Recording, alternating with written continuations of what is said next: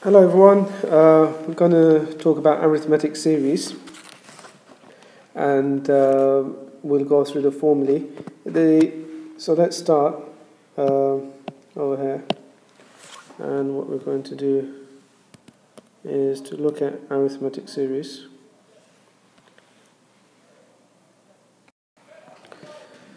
Hello everyone, uh, I'm going to do uh, a C2 section from sequences and series on uh, arithmetic sequences and series. With arithmetic sequences and series, we have uh, a difference, uh, same difference between all of the terms. Let's begin by uh, going to a story about Gauss. Now, when Gauss was at school, he was given the task of adding the numbers 1, 2, 3, all the way to 100 and uh, he was only a kid at the time, and he managed to do it within just a few minutes.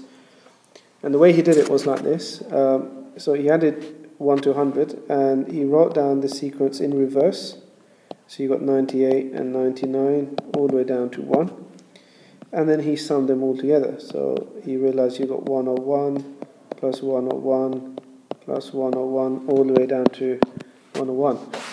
And he found he's got 101, he's got 100 lots of them. But because he's double counted everything, because he's added this extra series um, over, because he's added this extra series over here, um, we can divide this by 2. So this will give us uh, 1, 0, 1, 0, 0 divided by 2, which gives us 5, 0, 5, 0. And to show that we're summing, we can write S100, a small 100 over there. Now, if we were to um, uh, use algebra instead of numbers, we've got the first term, which is A. Uh, so A is the conventional letter for the first term. We then have the second term, which is A plus D, so we've got a difference. And then we have the third term, which is A plus 2D plus a plus 3d and it goes on and on and on to the last term. Let's call that L. And so if I now just use a different color let's use blue. If I do the same thing so we've got L over here and um, we've got A over here. If we're going to add them together and divide by 2 then we know that the sum of n terms is going to be A plus L uh, n over 2. So that's, that's a, a useful formula. Now, if you notice um, what we have here, let me just move this down over here. Now, if you notice what we have is that last term, L, can also be written as the first term plus some difference. Now, we can see here that there's no there's, there's, there's no difference on the first term. On the second term, there's one difference. Third term, there's two. Uh, fourth term, there's three differences. That means on the last term, on the nth term, there must be n minus 1 differences. Our formula now becomes Sn equals n over 2. And instead of a, instead of L, I'm going to write plus a plus n minus 1 times d. And this becomes n over 2 2a plus n minus 1 times d. So there we have a another formula which is very useful. Okay, so those two formulae. Now, we also have, if we look at this quite carefully, um, we also have when we've written the sequence out, so A plus A plus D plus A plus 2D plus A plus 3D all the way to the last term, we can we can we can find a formula for uh, the nth term. So it's not the sum of the terms; it's just the nth term. And let's say it's a n. Okay, so a n is the first term plus the um, plus n minus 1 times the difference. So that means my uh, second term here, I'll have n uh, 2 minus 1, which is just 1 times d. With um, my third term here, I've got n minus 1, which is 2, 2 times d, etc. So there's a, a third formula which is very useful. So let's see how these formulae work. Okay, so uh, let's look at an example. Uh, the arithmetic sequence has 16 terms, so that's quite useful. They've told us what n is. And it, you've got 2, 5, and 8. So the first thing to do is write down which terms you have. So we know that, write down what you know. So n equals 16. We know the first term equals to 3. And the difference, now this is a really important word. We already know the questions told us arithmetic. So therefore the difference is going to be constant. It's going to be the same. And we can see from uh, the, the difference between 2 and 5 is 3 and then 5 and 8 is 3 as well. So the difference here is going to be 3.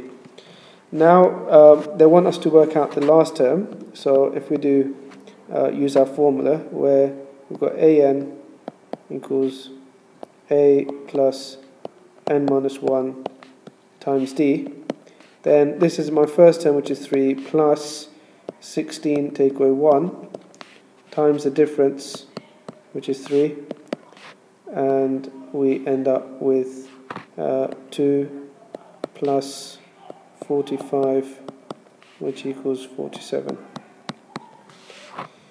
Right, for the second one, find the sum of the sequences. Um, now we don't we don't have the last term, and we but we do have a formula. We've got n over two, uh, two a plus n minus one all times d. And this is also written as n over 2 a plus l. The a, remember, is uh, your first term, l is your last term. Now we know that um, the last term is 47, so we can use this form over here. And let's put that in. So we have um, Sn equals 16 divided by 2 and then my first term is uh, uh, 2 and the last term here is 47 okay so we've got 16 over 2 times by 49 and that should give us 392 okay let's look at example 2 um, so we have uh, arithmetic series. Well, the first term is 3. Sum of the difference uh, is 20. Sum of the first 20 terms, sorry, um, is 2, 2, is 288. So find the common difference. So let's write down what they've given us. Um, so we know A here equals to 3 and the sum of the first 20 difference 20 equals 288 and we have to find out the common difference. So we don't know what the last term is. So again, we've got to use our formula Sn equals n over 2 and 2a plus n minus 1 uh, times d. And um, so we can substitute our a in there. So we've got um, uh, 2a and then you got, you got n over 2 so you've got 20 over 2 and that's the sum of the first 20 terms plus n minus 1 so you've got 19 times your difference uh, which is over here and uh, we know this equals 288 so to rearrange this uh, we'll get d equals something. Do you want to work that out and enter your results on the form for this video? Okay, so uh, let's look at this another example. You might want to pause this uh, video at this point and uh, maybe have a go at doing this example yourself. Uh, let me just fix that. Okay, so here we've got arithmetic series. Um, so we know there's uh, we know the formula which I'm going to apply here. Now they've given us d they've told us the sum of the first 25 terms, so when n is 25 is 350 and we want to find the first term. Right, the first thing to do is write down what they've given you. So we know that um, s, firstly n, n equals, where we, here we go, right, n equals to 25 and the sum of the first 25 terms equals 350 and d the difference is minus 0 0.5 okay. Now we don't know what the last term is and we don't have the value for the nth term. Um, so what we can do is use our formula where we have Sn equals n over 2 2a plus n minus 1 times d.